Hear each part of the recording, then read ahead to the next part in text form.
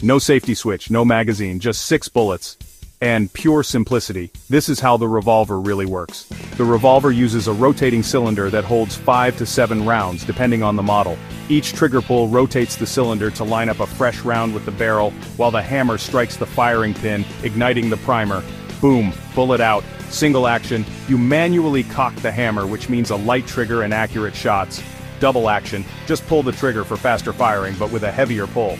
And because it's mechanical, fewer moving parts, it's ultra reliable, even if you drop it in mud. Used since the 1800s from the Wild West to World War II, the revolver still serves today with police, hunters, and gun collectors. And in games like Red Dead Redemption, Call of Duty, Resident Evil, it's that one weapon you never forget.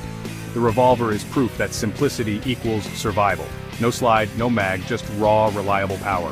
If you've used one in a game or real life, drop a revolver emoji in the comments and hit subscribe for more in 60 seconds.